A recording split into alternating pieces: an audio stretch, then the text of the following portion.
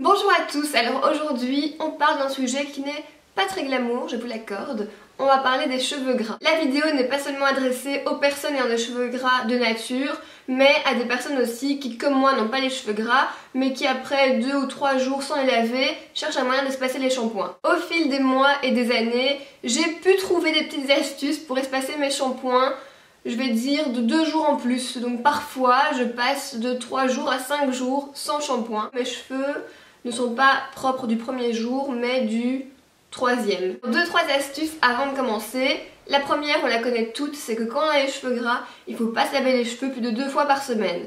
C'est l'erreur, on est tenté de les laver, mais plus on les lave et plus le sébum revient, parce qu'on décape le cuir chevelu. Décape c'est un grand mot mais c'est vraiment pour euh, schématiser.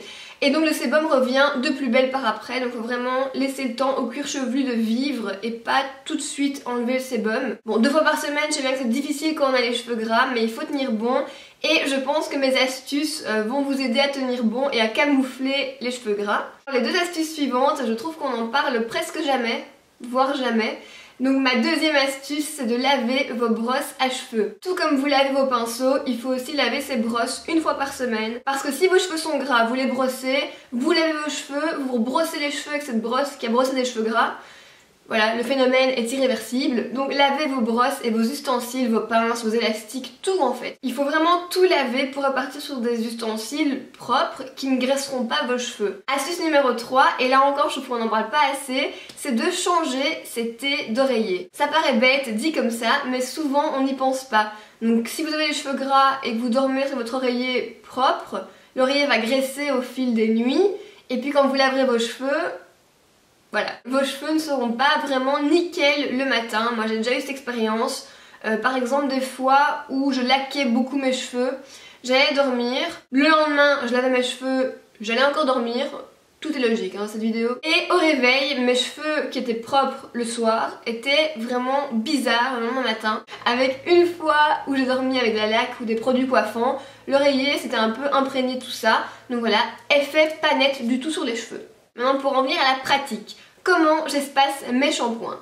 J'ai deux méthodes, mais que je combine généralement, donc ça n'en fait qu'une, on va dire. Faites comme bon vous semble, essayez-les séparément et vous verrez ce que ça donne ensuite ensemble. J'ai l'impression de m'expliquer d'une façon pas très claire aujourd'hui. Tout se passe au séchage de cheveux. Si vous avez les cheveux à tendance grasse ou simplement des cheveux pas gras mais que vous ne voulez pas les laver trop rapidement, il faut appliquer des produits coiffants sur vos racines. Ça peut être des sprays volume, ça peut être des mousses, tout produit coiffant qui va euh, volumiser, texturiser vos racines. Ça va vraiment aider les cheveux à ne pas regresser hyper vite, ou du moins ils vont regresser, mais ça se verra moins parce que les cheveux seront texturisés par une matière et ils seront pas tout fins et tout flous. Moi quand j'arrive mes cheveux que je mets rien dedans, deux jours après je les vois déjà un peu raplapla avec des stries euh, mais quand je mets des produits coiffants du type spray volume euh, aux racines ou mousse aux racines, après 3 jours, j'ai encore cet effet euh, volumineux et frais. Ça c'était pour prévoir le graissage, on va dire. Maintenant, que faire pour justement camoufler quand mes cheveux sont gras et que j'ai pas envie de les laver entièrement? Parce que c'est une plaie de laver des longs cheveux, je peux vous l'assurer. C'est le pire moment de la semaine. Qu'est-ce que je fais? Je mouille mes mains, je mouille juste mes doigts, je, je garde juste un petit peu d'eau, donc j'expulse le surplus d'eau et je passe mes mains mouillées aux racines, comme ça. Donc ce qui fait que ça mouille très vite mes racines et je sèche ensuite au sèche-cheveux. Ça va faire un shampoing express on va dire. shampoing c'est un grand mot. On va dire ça rafraîchit les racines et ça donne un effet plus frais, plus euh, nouveau. L'astuce qui pour moi est imbattable quand je veux camoufler les cheveux gras et espacer mes shampoings de deux jours en plus, c'est ça. Alors vous allez me dire shampoing sec, on connaît. Mais je trouve que le shampoing sec tout seul n'est pas vraiment efficace. Le shampoing sec va vraiment être utile un jour ou deux après le shampoing. Mais quand on arrive à 3 jours après le shampoing, 4, ça devient difficile avec un shampoing sec. C'est une araignée, c'est rien. Euh. Ça devient difficile avec un shampoing sec de vraiment camoufler les cheveux gras parce qu'il est un peu trop faible tout seul. Donc mon astuce, c'est d'y ajouter de la poudre volume cette poudre volume de chez TJ, je vous en parle depuis bien un an. L'Oréal en fait aussi une qui est un peu moins euh, efficace mais qui convient aussi. Et ces deux produits mis ensemble camouflent les cheveux gras, absorbent le sébum, redonne du volume aux cheveux. C'est vraiment mon truc que j'utilise dès que je veux espacer mes shampoings. Je vais vous montrer ça maintenant, je vais le faire avec vous. Avant de commencer, il faut savoir que les poudres volume, ça donne une texture pas super agréable au toucher. Juste au toucher. Donc au toucher, ça vraiment, ça cartonne les cheveux. On sait plus du tout passer sa main comme ça aux racines, c'est pas possible. Mais visuellement, c'est imbattable. Je vais commencer par le shampoing sec. Je vais en mettre dans mes cheveux comme euh, tout le monde en mettrait. Hein. Pour ça, il n'y a pas de secret.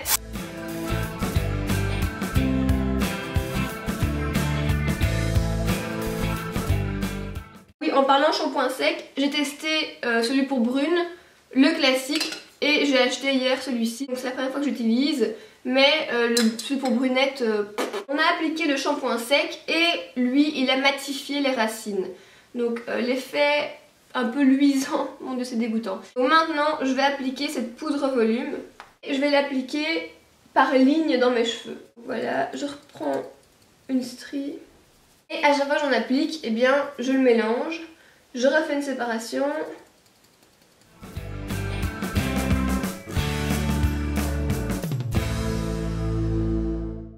Regardez la différence de volume, ça crée vraiment des couches de volume. Je sais pas comment l'expliquer. Bon, je fais pareil de l'autre côté. Et quand j'en ai bien mis sur toutes les séparations des deux côtés, je vais en appliquer un petit peu juste au-dessus et un petit peu derrière. Voilà, et là c'est juste pour terminer le travail.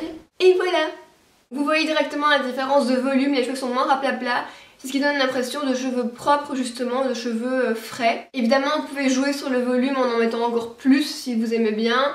Et si vous répétez l'opération le lendemain au matin, mais ça vous renettoie les cheveux, on va dire, euh, pour les garder un jour en plus. Pour ma part, ça fait trois jours que mes cheveux ont été lavés et je peux encore les garder comme ça deux jours en répétant à chaque fois l'opération chaque matin. Et puis forcément, pour le dernier matin, et l'astuce qu'on connaît toutes, c'est d'attacher nos cheveux, comme ça ça se voit encore moins et tout passe inaperçu. Donc là vous avez vraiment tout ce que je fais pour espacer mes shampoings au maximum.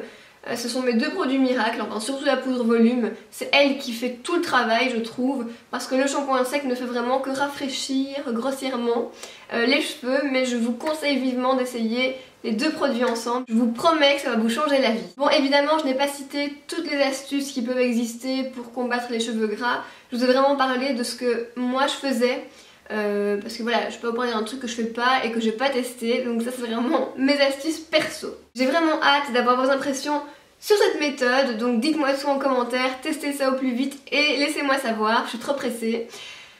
Et laissez-moi savoir. Et faites-moi savoir. Nous, c'est tout, on se retrouve sur Instagram, sur Facebook, sur Twitter, on se retrouve aussi sur ma deuxième chaîne, ma chaîne Lifestyle que je tiens avec Enzo. Et évidemment, on se retrouve dans les prochaines vidéos. D'ici là, portez-vous bien.